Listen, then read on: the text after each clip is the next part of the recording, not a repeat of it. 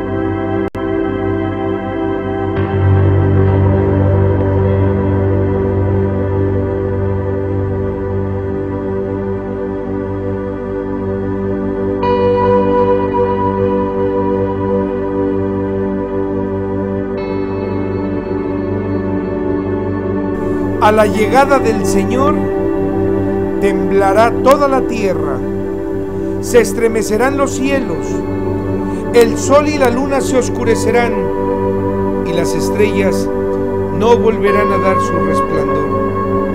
porque el Señor hará oír su voz al descender con todos sus ejércitos. Y el Señor hablará delante de su regimiento, porque muchos son sus batallones y son poderosos y terribles, que llevan a cabo su palabra ejecutando sus órdenes. Porque grande es el día del Señor y muy terrible. ¿Y quién lo podrá sufrir? Joel capítulo 2 versículo del 10 al 11. Hola, ¿cómo están? Muy, pero muy, pero de veras muy buenas noches. Una vez más, muchísimas gracias por sintonizar este su programa semanal de eh, eh, que ya se ha vuelto parte de nuestra vida cotidiana, porque muchos hermanos lo repiten y lo repiten en el transcurso de la semana. Sus servidores esperamos de verdad, de todo corazón, que en el transcurso de la semana todos ustedes se hayan dado el tiempo, por lo menos de sobra, para haber corroborado por lo menos una de las citas que aportamos la semana pasada. Pues recuerden que el haberlo hecho les dará la tranquilidad de saber que todo lo que aquí se ha dicho es lamentablemente para muchos la verdad.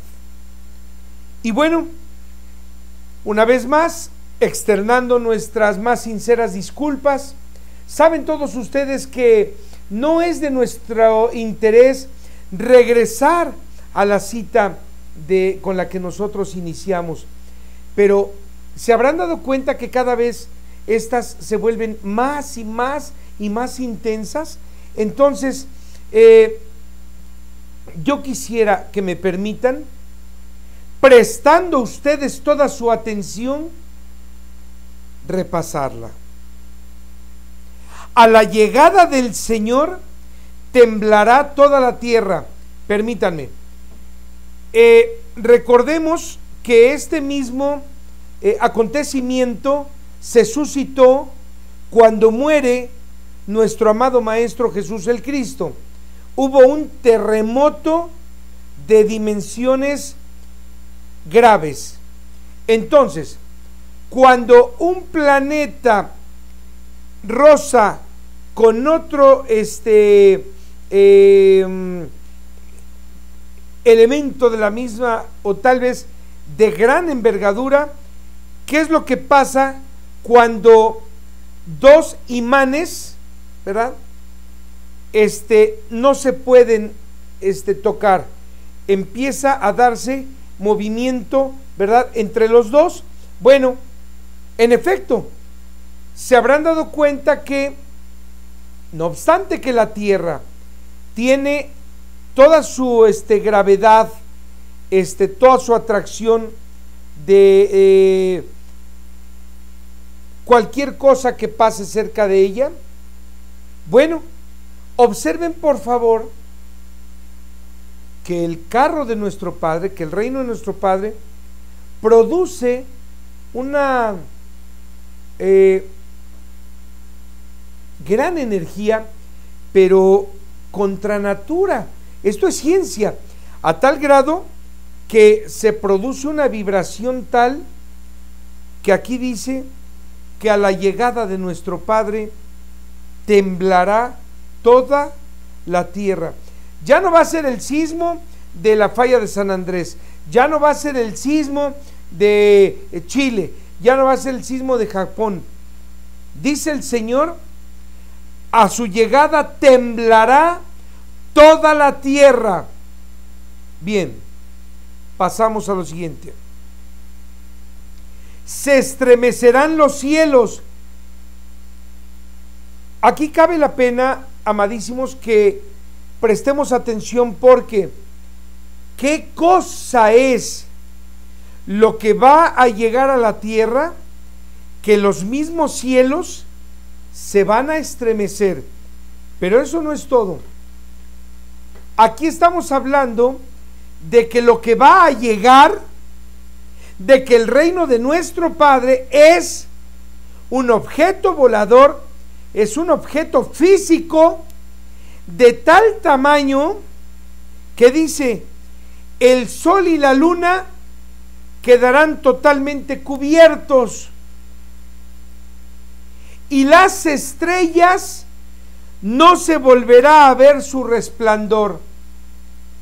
Si nosotros al día de hoy, queridísimos, ya sabemos que el reino de los cielos es un objeto volador que en tamaño supera a Júpiter, Júpiter comparado con nuestro planeta no es nada. Entonces, a la llegada del Señor, obviamente, para donde el hombre quiera ver, no se volverá a ver absolutamente nada. Quedará el sol eclipsado, quedará la luna totalmente eclipsada, quedarán todas las estrellas totalmente cubiertas y lo único que se va a poder apreciar es la forma tan terrible por fuera que tiene el reino, la carroza de nuestro Padre. Porque el Señor, dice así, hará oír su voz al descender con sus ejércitos. Entonces, así como nosotros hemos colocado eh, al principio del programa en el video, eh, mostrando cómo será la llegada del carro de nuestro Señor y vemos, ¿verdad?, del reino de nuestro Padre, y vemos cómo se va eclipsando a tal grado que se va poniendo totalmente en tinieblas, totalmente oscuro. Bueno, dice aquí que el Señor hará oír su voz desde las alturas. Imagínense ya escuchamos los sonidos de trompeta, así lo dice la profecía, porque con sonido de trompeta descenderá el Señor. Pero dice aquí Joel que el Señor hará oír su voz en el cielo al descender con sus ejércitos. No olvidemos, hermanos, que eh, Apocalipsis 9:13 literalmente nos dice que sus ejércitos se conforman de 200 millones de efectivos. Y ya vemos que están llegando, llegando, llegando a la tierra todos estos eh, carros esféricos eh, y que los ángeles, como, como el maestro les llama, y bueno, que obviamente cuando esto acontezca, el Señor lo veremos descender con todos sus ejércitos. Hermanos, la tierra, como lo hemos venido diciendo, la tierra va a ser invadida. Y el Señor hablará delante de su regimiento, 200 millones de efectivos, porque muchos son sus batallones y son fuertes y terribles, poderosos que llevarán a cabo su palabra ejecutando sus órdenes, porque grande es el día del Señor, pero muy terrible, y no hay quien lo pueda sufrir. Joel capítulo 2, versículo del 10 al 11.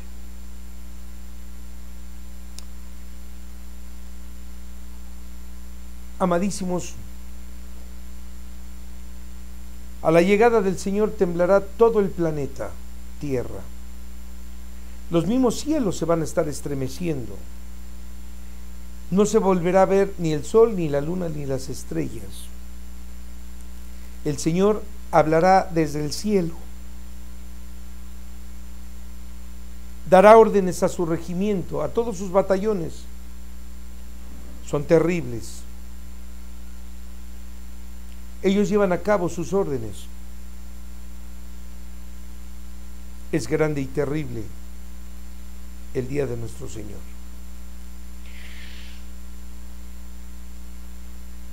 Una vez más, queridísimos, y todos ustedes, amadísimos hermanos cristianos, discúlpenme, discúlpenme una vez más, pero esto, lo que dice el profeta Joel también, tira por tierra, repito, tira por tierra absolutamente todo lo que se ha dicho que solo Jesús salva, que eh, Jesús vino a dar la, eh, su sangre por todos nosotros. Perdóneme, es el Altísimo el que descenderá con todos sus batallones a dar la gran guerra en Armagedón.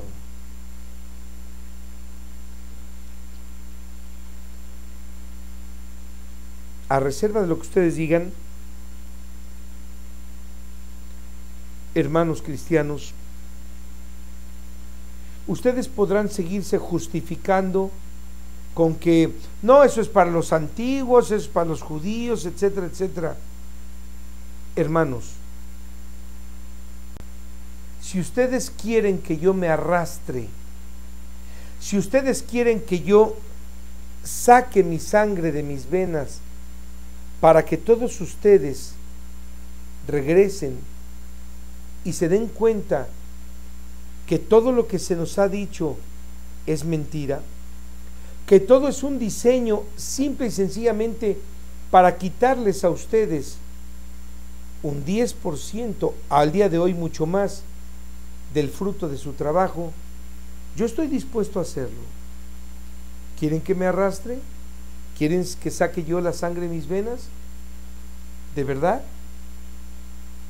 Así como el maestro vino y siguiendo las órdenes del Altísimo, aceptó el sacrificio de ser asesinado, habemos muchos, hermanos, hermanos, habemos muchos que estamos dispuestos, con tal de que ustedes hagan un cambio en su vida, estamos dispuestos a dar la misma. Pero que ustedes hagan un cambio en su vida.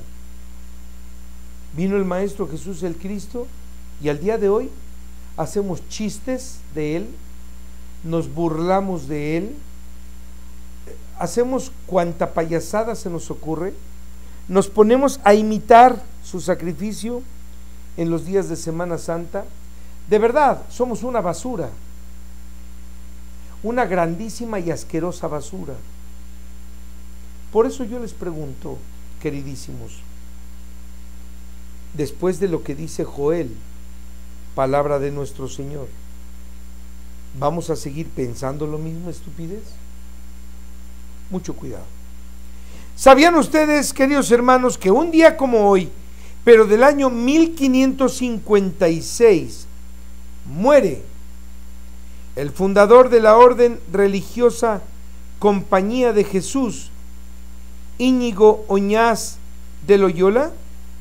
Mejor conocido como Ignacio de Loyola, que por cierto, su biografía dice que no obstante que él fue el fundador de los jesuitas, eh, Ignacio de Loyola, dice su biografía, que lamentablemente era este, homosexual. Así es que hay que tener mucho tiento, mucha precaución y a la vez así como nosotros estamos analizando las efemérides, muy conveniente sería ilustrarnos un poco más para darnos cuenta que eh, desde un principio esto, este diseño de la religión siempre fue montado de cabeza. ¿Sabían ustedes, hermanos, que en 1611 en España el rey Felipe III publica una nueva real orden para que los moros, fíjense bien hermanos, para que los moros, nombre con que se le conocía a los musulmanes, a los árabes que radicaban en España, que quedaban en Granada, la abandonaran de manera inmediata. De igual, de igual forma, ¿Sabían ustedes que en 1975 se firma la constitución de la Agencia Espacial Europea? Cuidado, ¿eh? Queridísimos hermanos, bueno, recuerden que diariamente publicamos a ustedes información tan relevante y valiosa como esta, pero solo de manera general en las redes sociales de Facebook, como en el caso de ubicarnos como Joseph Benajarón y en Twitter como arroba JJ Valderrábano. Pero, no dudando que ustedes deseen conocer mucho más a fondo acerca de estas efemérides del día, bueno, es importantísimo que entren en el portal de www.ultimaadvertencia.com donde incluso algunas efemérides tenemos oportunidad de ilustrarlas, además de información complementaria a detalle.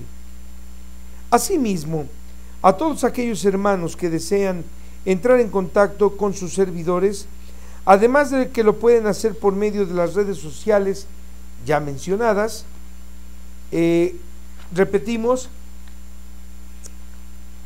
en el caso de Facebook, nos ubican ustedes como Joseph Ben Ajarón o, si es Twitter, como arroba JJ Valderrábano. Y también por medio de Skype, como J Valderrábano 90. Lo pueden hacer y recuerden que todos los martes a las 20 horas, tiempo del centro de México, entramos en contacto con varios de nuestros hermanos que en conjunto participan. Así que, hermanos, una vez más, no hay obstáculos para que aquellos de ustedes que deseen conocer mucho más sobre la verdad acerca del Altísimo, aclarar cualquier duda o expresar alguna inquietud, bueno, pues lo hagan eh, y con muchísimo gusto, hermanos, no olviden que nosotros estamos para servirles.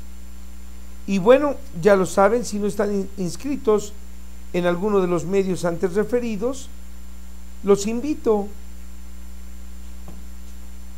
a que se den de alta, pues la información publicada sin duda, hermanos, enriquecerá los estudios e investigaciones que cada uno de ustedes, amadísimos, se encuentran realizando. Y por último, no dejen de visitar nuestro nuevo portal de www.ultimaadvertenciau.com en el cual, hermanos, velamos por actualizar constantemente para que todos ustedes consulten la valiosa información que ahí se publica, lo cual con orgullo les decimos que lo convierte en el mejor portal informativo en su género. Bien.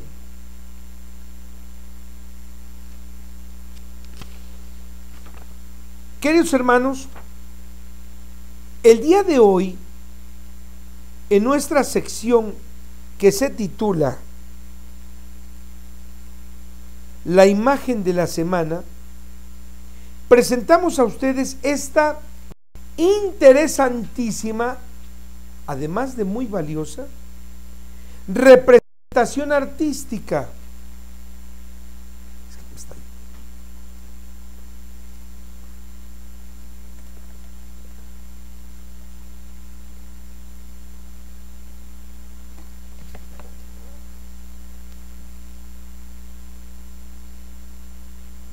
La cual podemos acercarle lo más que se pueda. La cual, hermanos, es un grabado en alto relieve en la parte superior de uno de los dinteles de acceso a un salón en el Museo Vaticano. Fíjense ustedes, hermanos, presten atención, de verdad, presten toda su atención, porque esta eh, obra es muy valiosa e interesante, pues podemos ver a dos mujeres con alas interpretadas como las dos iglesias, la iglesia romana y la iglesia protestante. Y si alguno de ustedes se pregunta por qué las alas, porque recuerden que fueron creación de los que descendieron volando del cielo, de los cielos. Estas interpretaciones, observen por favor que aunque una da la espalda a la otra, ambas tienen una tabla que están leyendo en representación de los principios que constituyen a cada dogma cristiano. En medio de estas, mucha atención,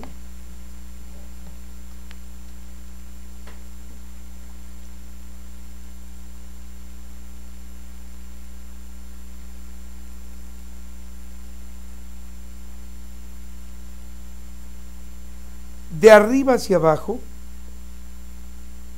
se observa claramente el símbolo de la cruz, el cual todos sabemos que caracteriza al catolicismo y al protestantismo.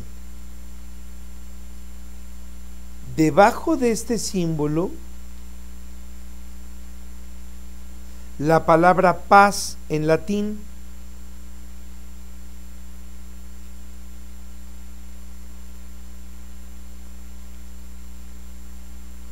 La paz del Señor esté con ustedes y con tu espíritu. El haber este, hecho esta alusión es para que observen que con el signo de la cruz y pregonando la paz en apariencia,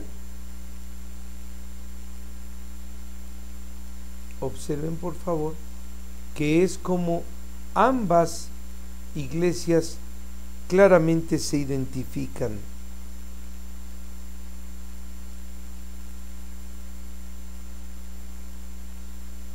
Sin embargo, hermanos, algo que llama mucho la atención debajo de estos iconos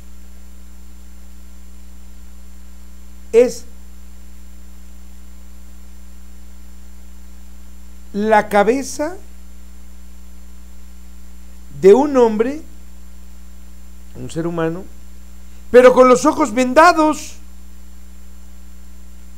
lo que obviamente nos lleva a interpretar de manera muy precisa lo que las religiones han hecho con todos nosotros los seres humanos, que utilizando estas como estandarte, el símbolo de la cruz,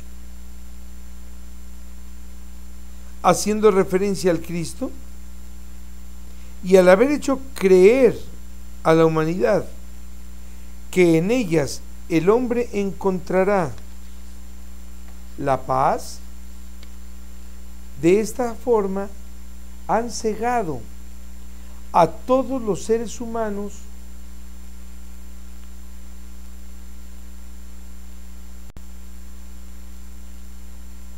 que se han dejado llevar por sus doctrinas falsas.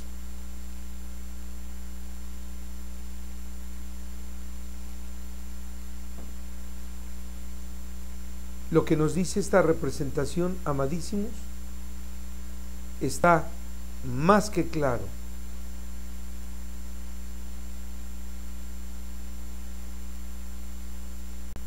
Y bueno, amadísimos hermanos, esta semana, a partir del día martes 2 de junio, estaremos con muchísimo gusto en Bogotá, Colombia, atendiendo a la amable invitación de la directora del CIO, que es el Centro de Investigaciones OVNI, Luz Mari López, para participar en el tercer, décimo tercer, perdón, encuentro internacional de ovnilogía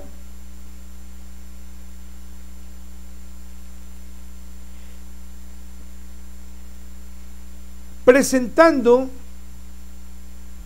una interesantísima conferencia que yo les juro va a ser del agrado de todos los asistentes que tengan a bien acompañarnos. Y muchísimas gracias también a nuestros amadísimos hermanos de Colombia que se han puesto ya en contacto con sus servidores, ya que también aprovecharemos la oportunidad para que desde el mismo día de nuestra llegada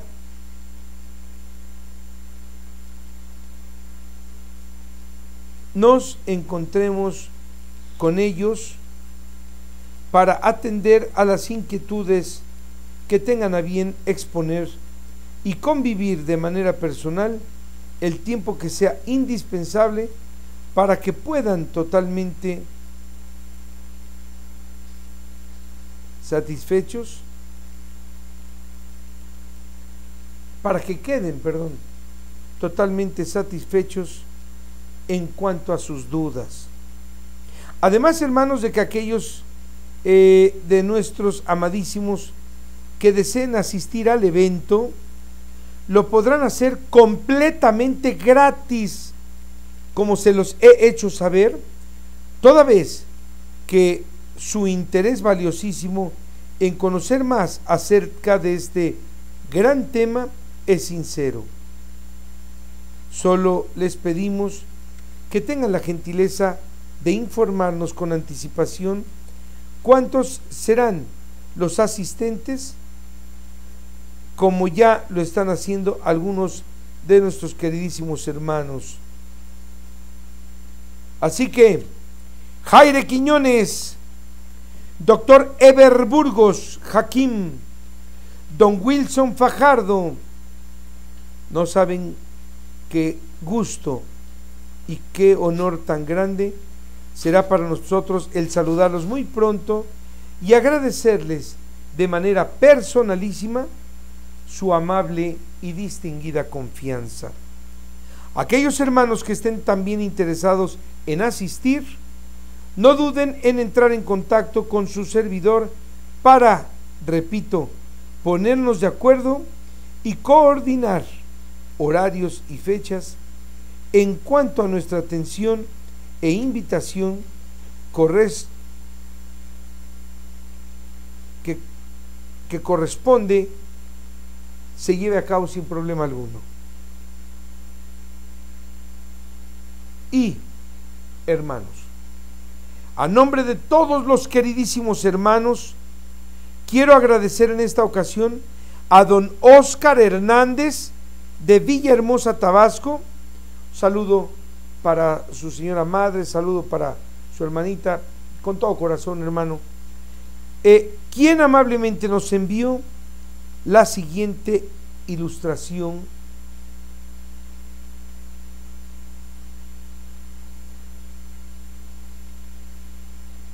con un interesantísimo mensaje.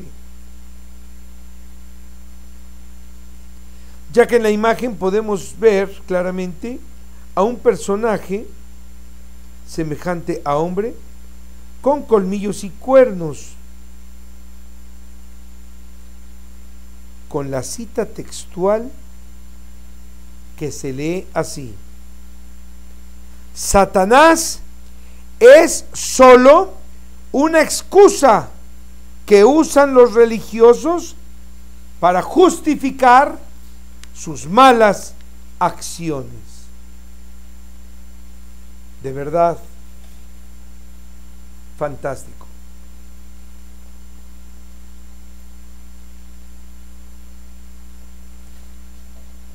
Si ustedes nos permiten,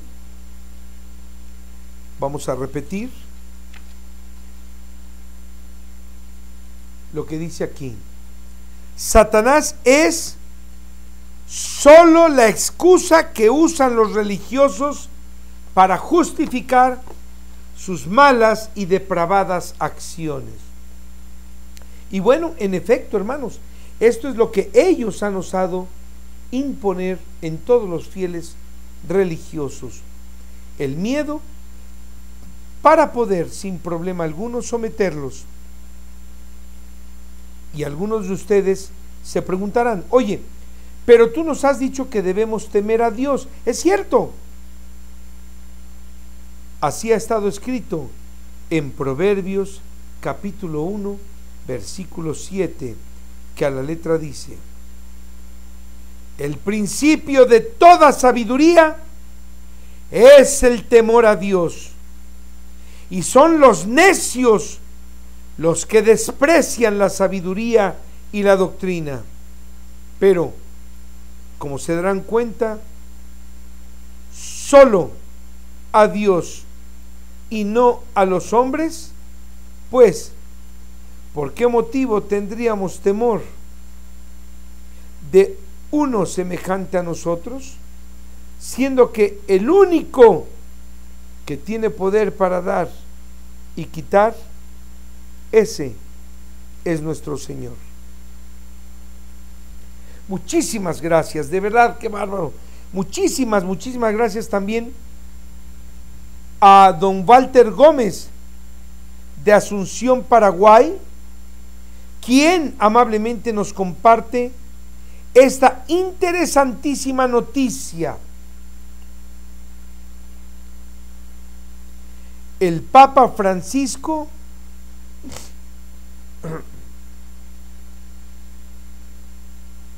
enviará por el mundo a los misioneros de la misericordia, que obviamente son sacerdotes que irán por todo el planeta capacitados para perdonar pecados graves como el aborto, el secuestro, el asesinato, el incesto, el robo, la promiscuidad, el adulterio, la violación, el aborto, el suicidio, entre otros.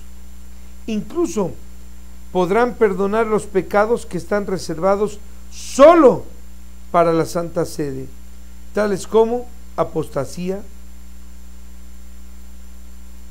herejía,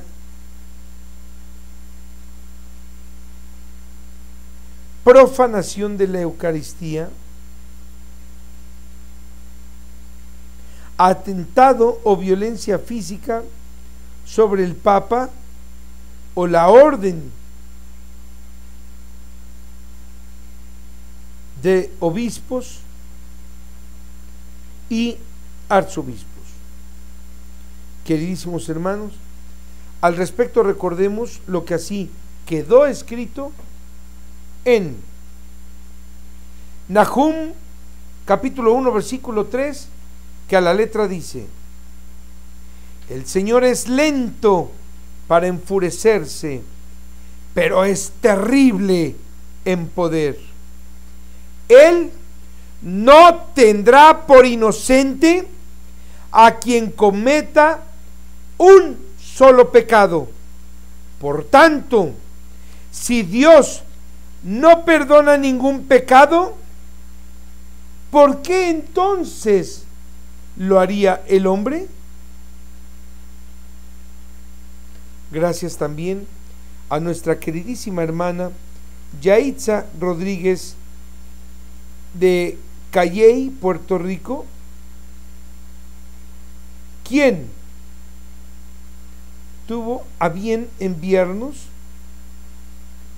una imagen risible, pero hermanos, con una sabia reflexión.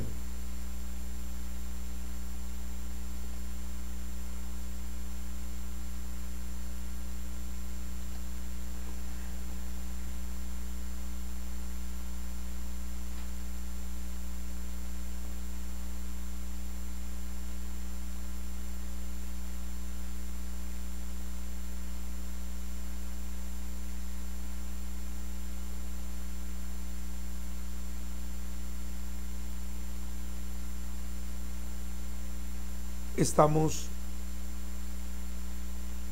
con mucho gusto dándoles la libertad, hermanos, para que, como dice nuestra querida hermana,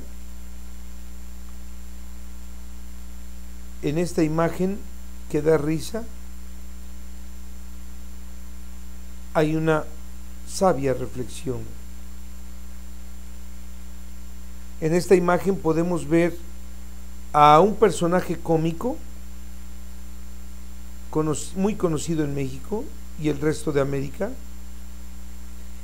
eh, de la serie El Chavo del Ocho, diciendo, ¿qué pasó? ¿Qué pasó?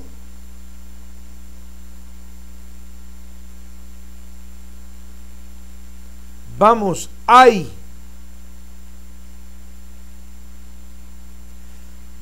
¿Cómo de que Jesús es el Padre si la Biblia dice que Él es el Hijo? Y la cita Juan capítulo 3 versículo del 16 al 17 a la letra dice, porque de tal manera amó Dios al mundo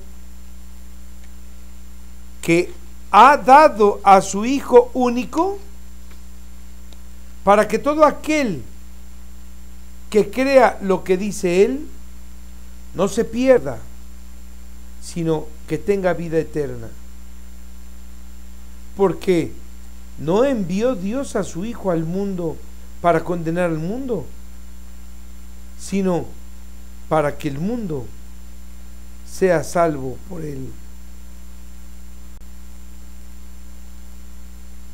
Vaya nuestra gratitud también, queridísimos, a don Julio César Maldonado de Madrid, España, quien nos comparte esta sugestiva ilustración. En esta podemos ver los símbolos representativos de varias religiones obviamente con el texto.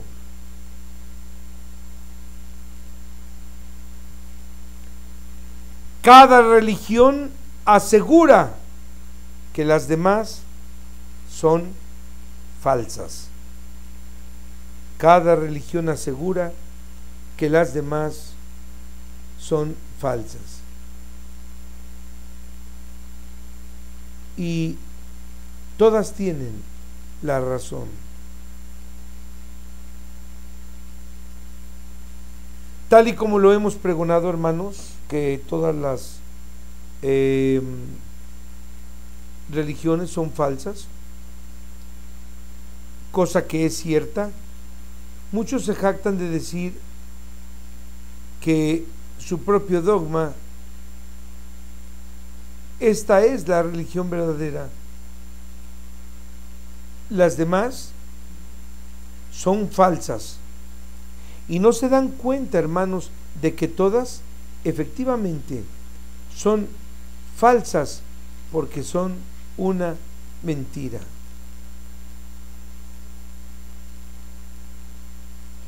Son una fantasía. Don Julio César Maldonado nos comparte, hermanos, esta segunda ilustración,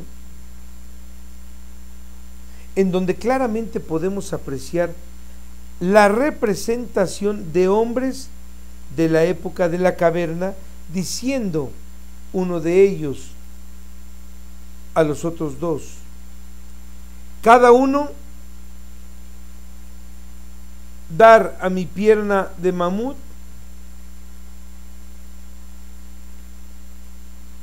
Y yo,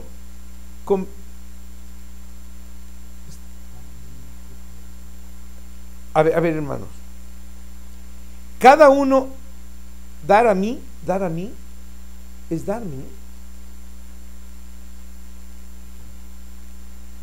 Ah, son cavernícolas. Entonces, simulando nosotros cómo hablarían, estos a la vez dirían, cada uno cada uno dar a mí una pierna de mamut y yo convertir a ustedes en hijos del gran mamut cósmico. Y el mensaje que contiene esta ilustración es religiones falsas desde épocas inmemoriales.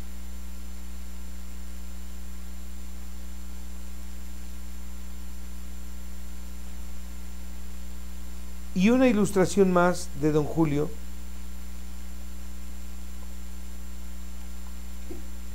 es esta, hermanos,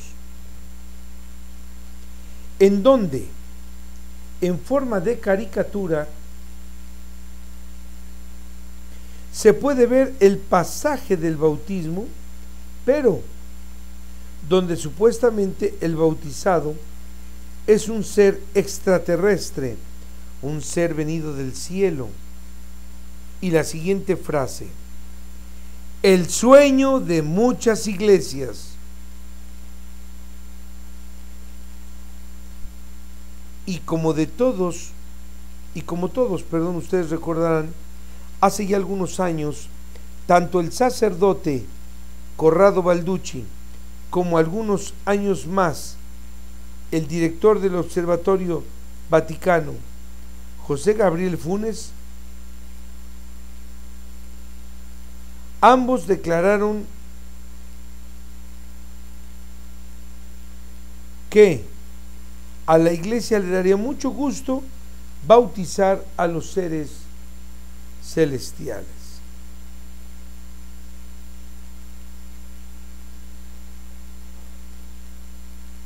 Y como podemos ver, hermanos, con esta caricatura, en realidad eso solo es una burla, pues todos sabemos que eso nunca ni jamás sucederá.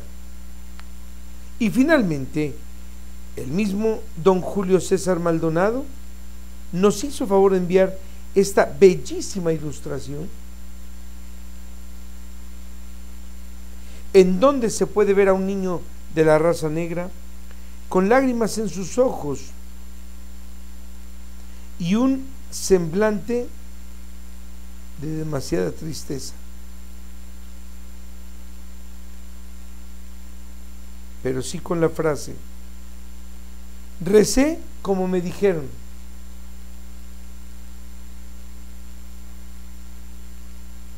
Y cuando acabé, yo seguía teniendo la misma hambre. Esto, hermanos, va para todos aquellos que siguieron creyendo que en el Vaticano rezan a Dios por el hambre en los más necesitados. De verdad, aún hay quien crea que con oraciones el hambre va a dejar de existir. ¿Se imaginan si así sucediera también con la pobreza, hermanos? Pero yo les pregunto, si así fuera, a cuenta de que Dios nos daría esas bendiciones, ¿no? Es justo ver a estos pobres niños, pero es justo que los religiosos rebosen de sus riquezas.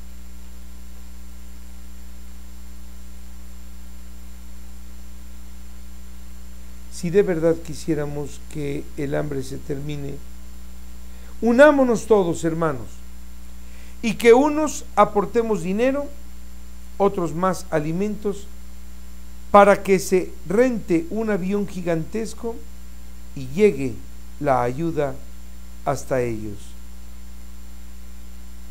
Pero que quede claro que no será suficiente, porque también harán falta medicinas, médicos, cobijas, zapatos, ropa, agua, en fin. No, hermanos.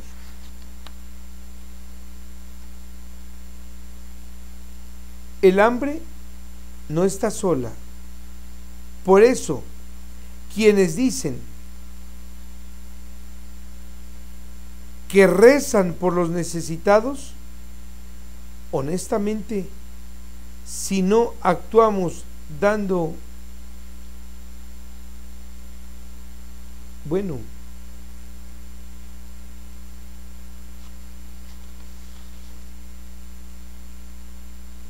dando medicinas, zapatos, ropa, agua, en fin. Hermanos, el hambre, como decimos, no está sola.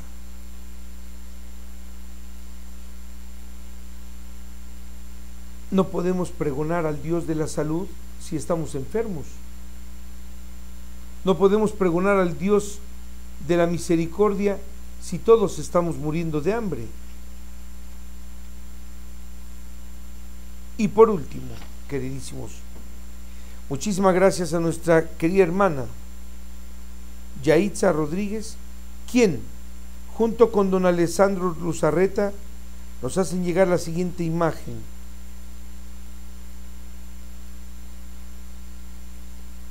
en donde se lee.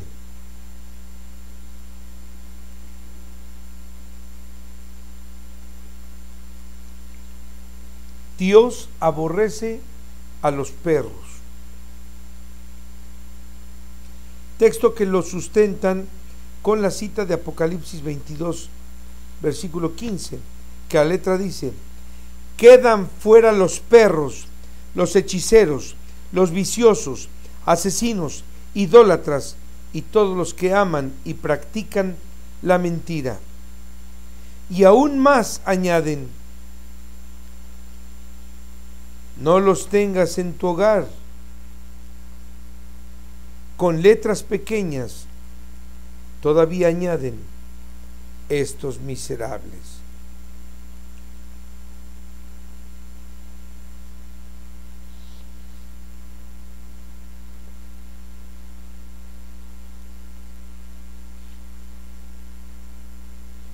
Liberten sus hogares, hermanos, de estos seres repudiados por Dios.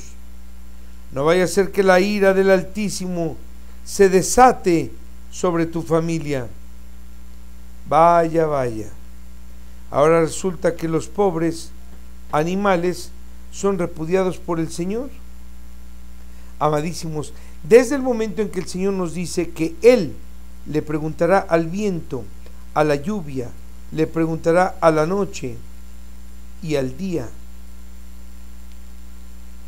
Y que le preguntará también a los animales, así como las plantas, por nuestro comportamiento. Y si Dios creó toda esta belleza en cuanto al mundo animal, lo que estos perros miserables están haciendo, hermanos, no es cierto. Cuando Dios se refiere a perros en un despectivo,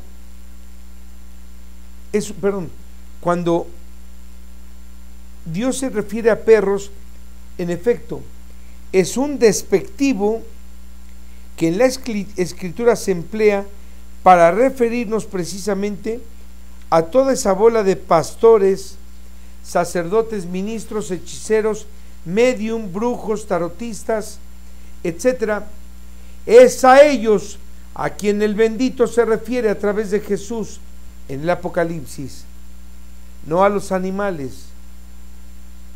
Qué cómodo, ¿no? Bueno, somos miserables perros, desgraciados ladrones, mentirosos, asesinos, abusivos. Todos ustedes son violadores, son homosexuales. Ustedes son los perros, los religiosos, los perversos y los malditos. Y bueno, queridísimos, antes de iniciar nuestro tema de hoy, sigamos conociendo sobre la correcta interpretación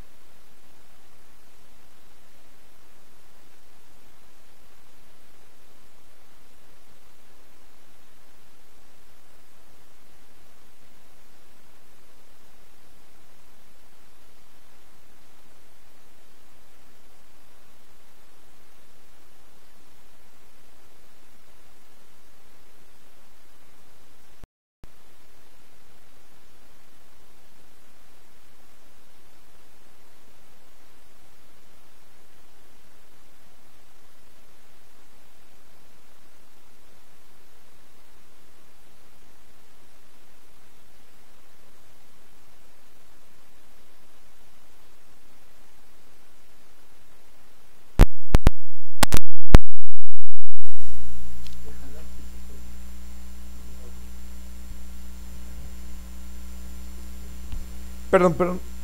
Parece que hubo una falla técnica, hermanos. Bien, decíamos que el día de hoy, ¿estamos bien ahí? El día de hoy. El día de hoy, hermanos, hablaremos de un tema que ha sido, bien, solicitado por varios de ustedes, pero quiero comentarles que esto tiene años, ¿eh? Esto tiene años. Bien, eh, es importante, nos están haciendo el favor de informarnos que hubo una falla. Muchas gracias. Es importante que ustedes sepan que era necesario, hermanos, que los temas que hemos tocado a través de estos tres años que están por cumplirse, era necesario, primero, dominar el asunto religioso,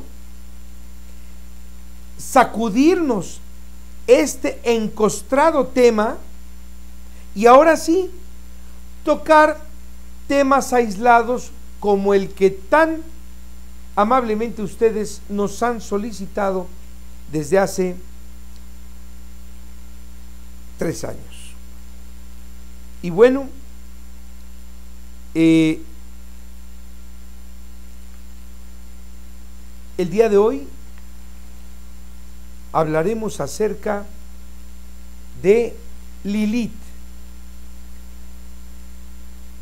Y sin más preámbulos, iniciamos. Hermanos, eh, fíjense ustedes que en aquel entonces, hace tres años, algunos de ustedes o algunos de los hermanos tocaron el tema, deseaban que se, eh, que se tratara el asunto de Lilith, pero porque todavía en aquel entonces algunos hermanos noticias como tal o cual, wow, Era, eran sensacionalistas y muchos en una actitud de reto nos pedían información de el mismo y se habrán dado cuenta que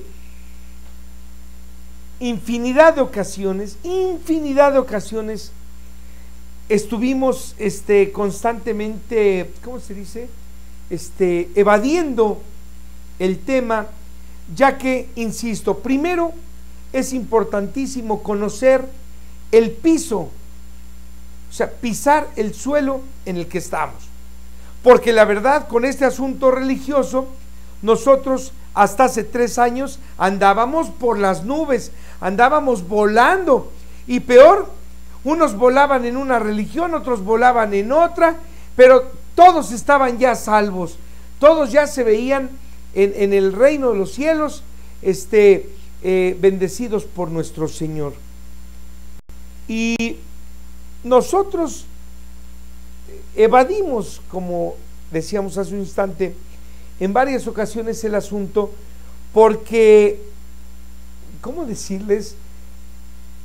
Mm, querían que lo presentáramos como parte de toda esta fantástica noticia, de todo este fantástico derroche de información que les hemos dado. Querían que se presentara como una noticia más alentadora para todo nuestro conocimiento. Pero irónicamente, hermanos, considerando que hay muy poco escrito acerca de este asunto, mucho, mucho se ha dicho de Lilith. Sin embargo, todos los que han hablado de Lilith se han em, desbordado en comentarios estúpidos, torpes, porque no hay el conocimiento de este asunto. Recuerdan ustedes que todo mundo, inclusive en algunas ocasiones estuvimos leyendo eh, comentarios de algunos donde decían, y háblanos de Lilith, eh, la primera esposa de Adán. Muchos dijeron que era una hechicera, otros decían que era un demonio aliado de la serpiente que tentó a Eva, otros nos decían que era un espíritu, y entre algunas cosas más que se han dicho, la que más sobresale es que Lilith fue la primer esposa o mujer de Adán. Pero es muy importante, queridísimos, tener, pero muy en cuenta, como ya se dijo, que muy poco se ha escrito al respecto. Y esto no es porque los antiguos no hayan tenido el conocimiento, sino porque si me lo permiten, vamos a conocer el porqué. Fíjense ustedes que a través de la historia hemos podido conocer que mientras menos evidencia existe sobre algo o alguien, es cuando más se habla, o permítanme, se inventa de ellos. Y lo peor, que muchos lo platican como si fuera esto una realidad. Lilith, o también conocida como Lilith, es considerado al día de hoy un personaje femenino legendario, mas no histórico. Repito, Lilith, conocida también como Lilith, es considerado al día de hoy un personaje femenino legendario, pero no histórico. Y su origen está tanto en leyendas judías como en las leyendas de la antigua Mesopotamia. Primeramente, hermanos, la leyenda mesopotámica considera a Lilith como un demonio femenino, en donde éste se relaciona con el espíritu maligno de nombre Lilú, que es el nombre de los demonios considerados hijos de Lilith.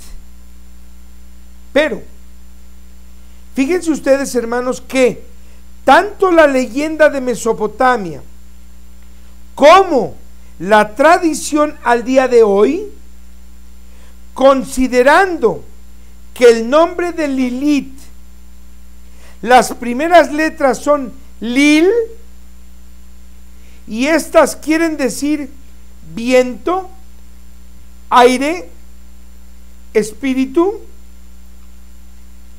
se considera que más bien esta femenina no es un espíritu, sino que es un personaje sí, femenino, pero traído por el viento o que navega por el aire. Por otro lado, la leyenda hebrea, hermanos, tiene dos vertientes. Que, aunque no lo parezca, carecen de sustento para acreditarse como posibles evidencias de su existencia como la primera esposa de Adán. Hermanos, de acuerdo con los estudiosos judíos serios, principalmente algunos trascendentales rabinos, en la Biblia está la respuesta a la existencia y el lugar que ocupó Lilith en la historia. La Biblia, según ellos, contiene escritas dos versiones acerca de la creación del hombre. En el capítulo, hermanos, fíjense bien, por favor, presten atención, hermanos. En el capítulo 1 del Génesis se dice, y creó Dios al hombre a su imagen. A imagen de Dios los creó. Observen que el singular y el plural se están manejando realmente sin ningún eh, respeto hacia los lectores. varón y hembra los creó, dice así. Por lo tanto, con esta cita, hermanos amadísimos, ellos presumen que entonces la mujer y el hombre, Adán y Eva, fueron creados al mismo tiempo y que Lilith fue aquella mujer creada al unísono con Adán. Y la segunda versión, queridísimos, dada, pero fíjense bien, solo por algunos cabalistas, los cuales en el transcurso de la historia han considerado muchísimas interpretaciones para explicar esta contradicción entre las diferentes versiones dadas como conocidas. Una, fíjense bien hermanos, presten atención, una sugiere que Adán fue creado inicialmente como un andrógino que poseía un cuerpo femenino y uno masculino, unidos por la espalda. Lo cual, hermanos, suena totalmente aberrante asegurar sin pruebas contundentes. Y según ellos, luego, Dios dividió el cuerpo para que fueran hombre y mujer.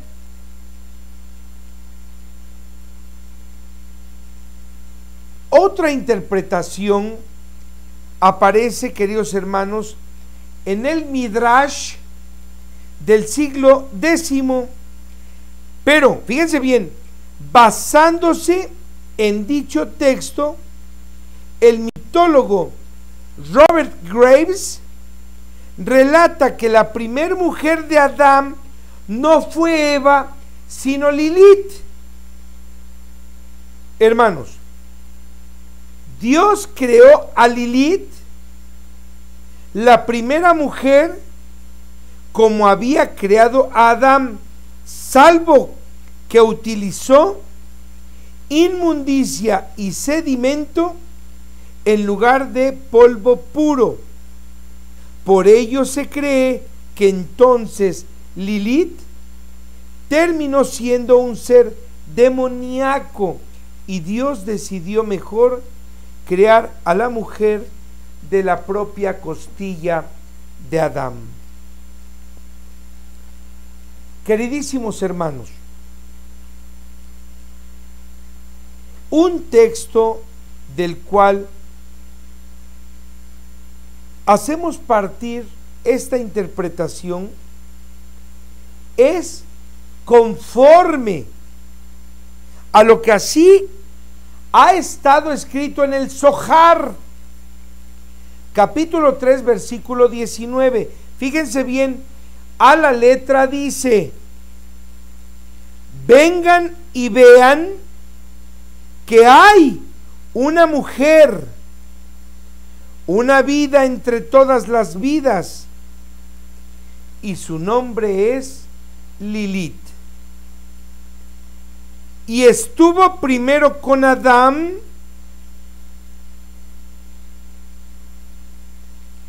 en la hora en que Adán fue creado. Hermanos, queridísimos, permítanme volver a repetir. Y estuvo primero con Adán, pero en la hora en que Adán había sido creado. Hermanos, esto tira por tierra aquella teoría que mentirosos, estúpidos y farsantes, pseudo investigadores, aseguren que haya sido la primera esposa de Adán, porque desde el momento en que Lilith estuvo en la creación de Adán, ella es un ser celestial de género femenino. perdón, la cual, como ustedes se darán cuenta, a todos nos suena más lógico.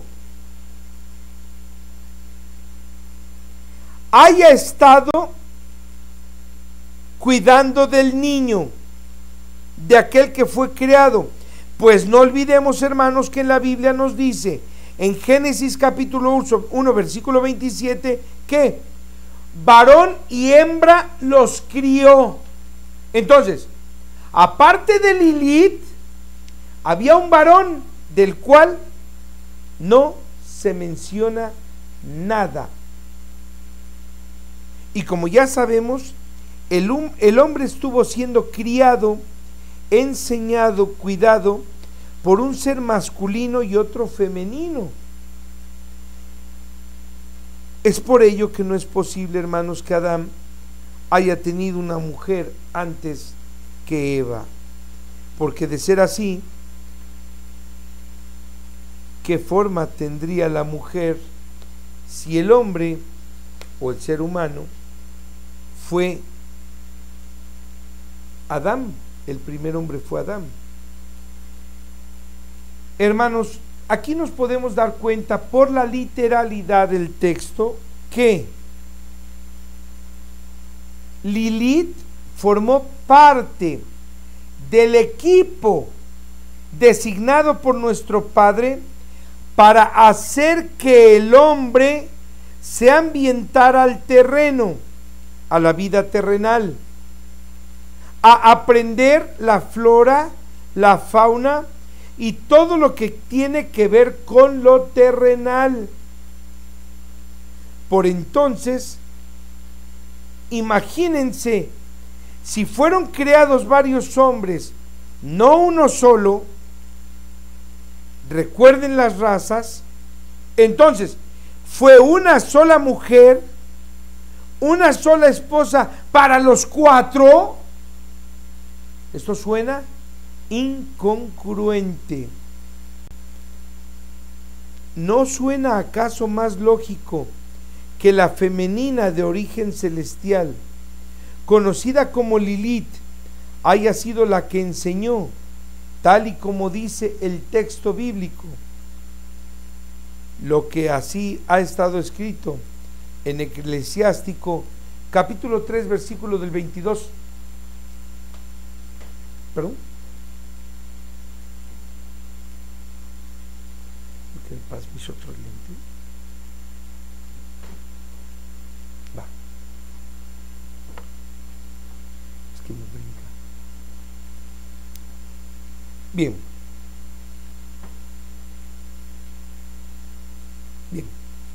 Por, eh, eh, por lo que entonces, hermanos, imaginemos, si fueron creados varios hombres, no uno solo, hay que hacer recuerdo de las razas, que fueron cuatro, ¿sí? Entonces, ¿fue una sola mujer, una sola esposa para los cuatro? ¿No suena más lógico que la femenina de origen celestial conocida como Lilith, haya sido la que permaneció con estos niños criados, creados, perdón, dándoles crianza, enseñándoles acerca de cómo vivir y convivir con todo su entorno creado? Queridísimos hermanos, recordemos que Dios nos dijo lo que así ha estado escrito en Eclesiástico capítulo 3 versículo 22 al 26 que a la letra dice, no te metas a investigar lo que rebasa tu capacidad, ni averiguar aquellas cosas que exceden tus fuerzas. Solo piensa siempre en lo que te tiene mandado Dios. ¿Qué nos tiene mandado Dios? Que cumplamos con su ley. Y no seas curioso de sus muchas obras. Porque tus figuraciones sobre dichas cosas son las que los han tenido en el error. Por tanto, queridísimos hermanos, con respecto a Lilith, como ya lo hemos eh, visto, si solo hay supersticiones, hipótesis, creencias y todas estas sin sustento, entonces no tiene sentido que estemos opinando estupideces acerca de este asunto, porque lo que está sucediendo es que nos vamos a confundir mucho más en este asunto. Y siendo que en el texto bíblico claramente nos dice que fueron criados cuatro, pero que varón y hembra los criaron. Obviamente, al ser Adán muy pequeñito y que ya nos hable de que una pareja los eh, estuvo aquí en la tierra criándolos, o sea, educándolos, enseñándoles, creo, queridísimos hermanos, que para evitar confusiones sería conveniente que no hagamos caso a comentarios sin sustento, a comentarios sin bases. Y no olvidemos que el hacerlo nos va a dejar que caigamos en el error y creer todo aquello que quizá pues no existe como se difunde. Hermanos, si Lilith existió, no queda duda, ¿sí? Porque así ya lo vimos que ella estuvo presente en la creación de Adán. Pero de ahí a que ella haya sido su mujer, es estúpido. Porque repito, Lilith no fue mujer de Adán por el simple hecho de que ésta era una femenina descendida del cielo, que fue a la que fue, perdón, encargada la enseñanza y el cuidado de los que acababan de ser creados. Y el hombre, aunque su origen, hermanos, es divino, o sea, quiere decir, es celestial, su pareja fue hecha de él para ser su semejante y viva como él. ¿Por qué no pensar que Eva conoció a Lilith y que fue educada y enseñada también por ella? ¿O qué? ¿Van a decir que no se podían ver las dos por celos? Ay, ya saben, hermanos, cómo es esto. Y, bueno, si ustedes nos permiten, para aquellos aún más aventurados que todavía se han atrevido a asegurar, y aquellos otros que lo creen, que Lilith fue un demonio, mejor me abstengo de responderles, hermanos, porque sería tanto como continuar tales blasfemias contra el proyecto que Dios tuvo para el hombre. y que tal cual se llevó a cabo ¿eh? por sus siervos celestiales. Queda entonces, hermanos, más que clarísimo que Lilith es aquella femenina junto con un masculino que criaron a los creados por el Señor. Bien, nuestro querido hermano Julien Zárate, oye, tengo una inquietud porque fíjate que el señor Jaime Maussan en los programas de televisión del Canal 9, televisión abierta, no toca mucho el tema de Nibiru, sabiendo que es una realidad y que por el acercamiento de esta nave está habiendo mucho cambio climático en la Tierra. Pienso que debería tocar más el tema. ¿Qué piensas? Ay, queridísimo Julien, yo lo quiero a Jaime como mi hermano, lo quiero mucho. Eh, él en tercer milenio, eh, bueno, más bien desde que era, ¿cómo se llama? 60 minutos, después fue tercer milenio. Yo quisiera decirle a usted, querido hermano Julien, mire, eh, por eso es que cuando tocan el tema los asistentes del señor Maussan, es porque ellos se ponen a, a checar la computadora y todo lo que dice la internet le dan forma y lo presentan como tema. Miren, este asunto de Nibiru no, yo creo que mi querido hermano no lo toca porque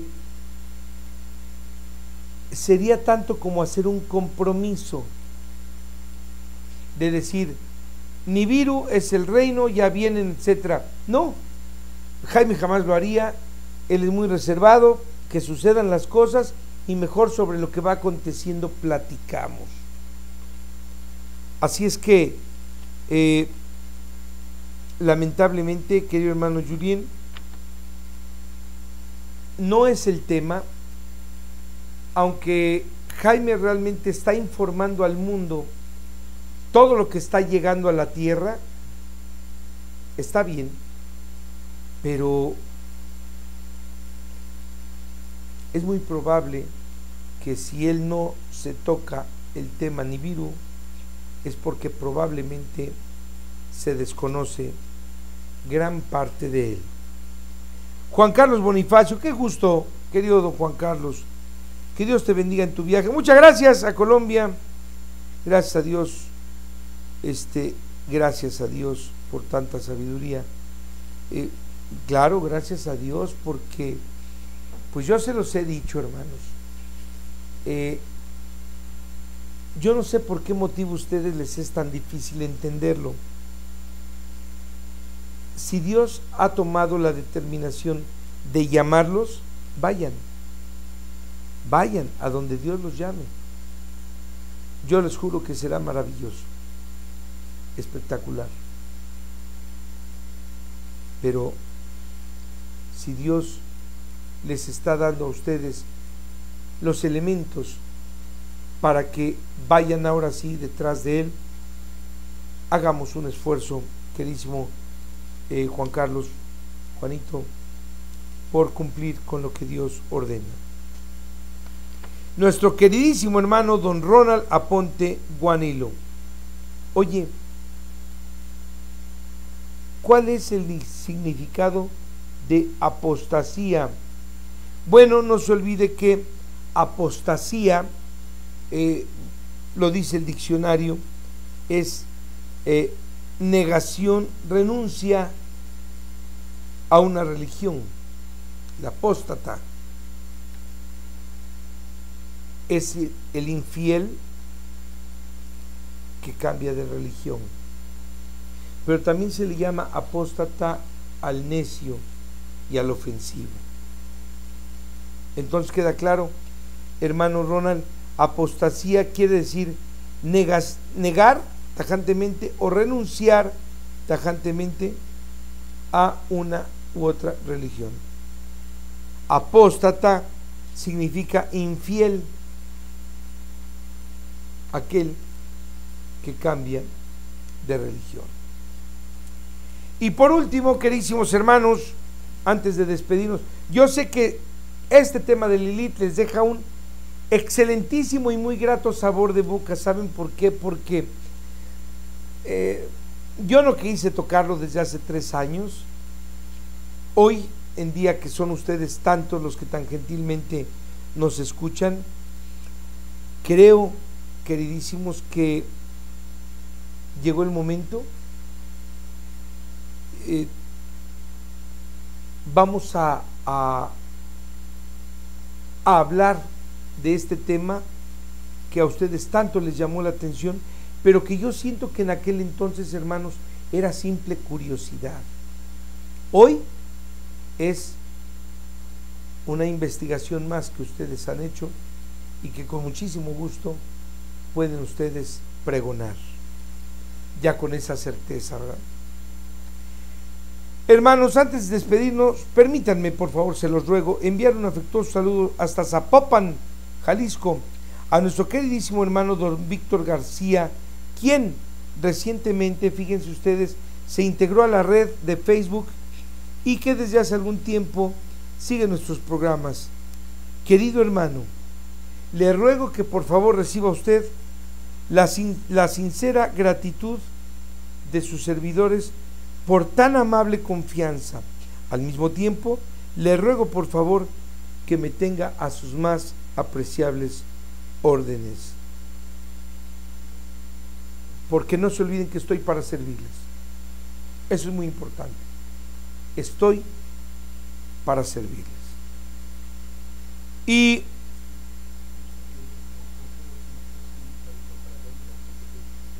ah, querido don Juan Carlos Bonifacio, dice un saludo para nuestro querido Jaime Maussan, porque hoy es su cumpleaños.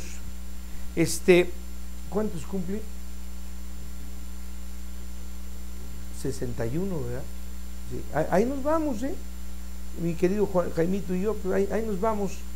Este, muchísimas gracias. De verdad, muchísimas gracias. Eh, Carlitos Bonifacio, ¿verdad? Le mando un afectuoso saludo a nuestro querido hermano Jaime Maussan.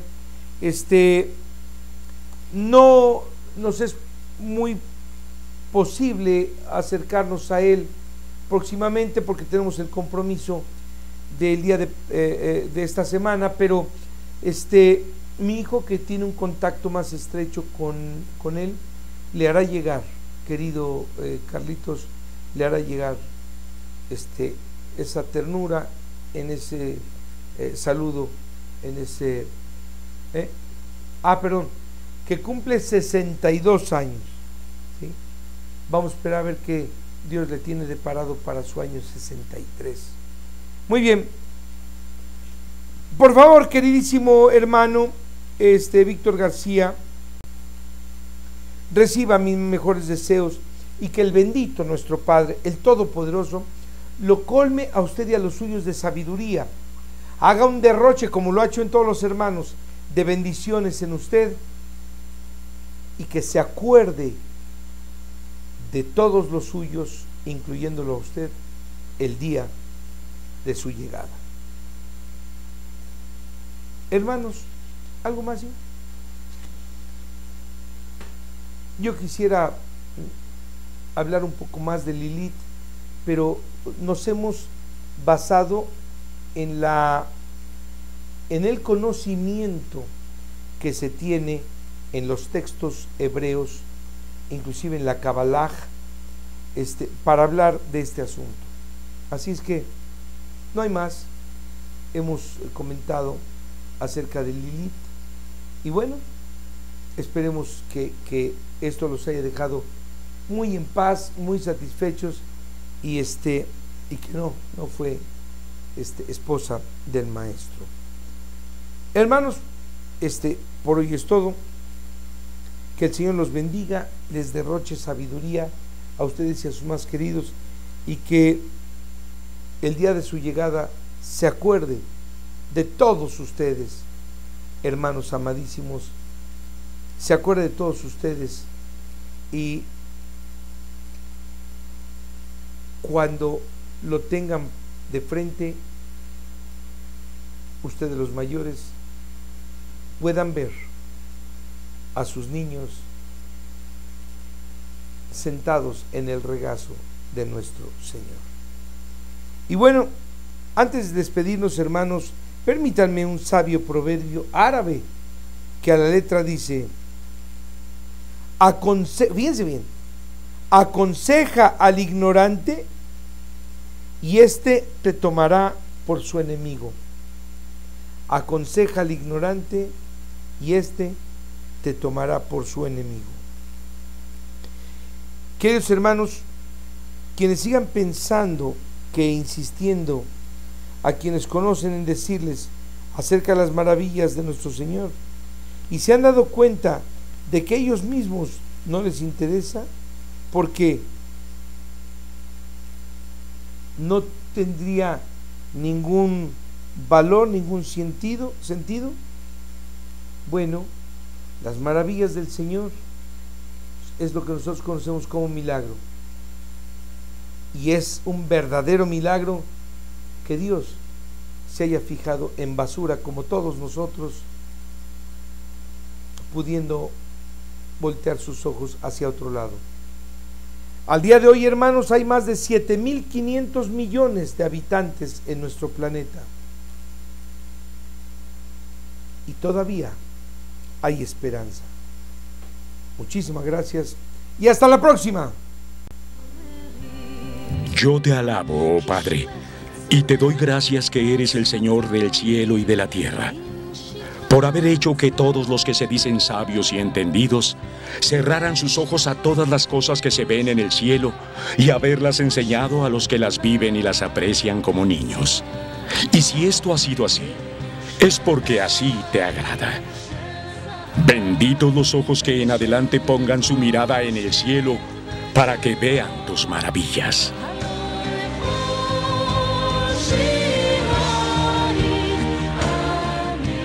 Nada es como se los han contado, ni nada es como ustedes lo han creído.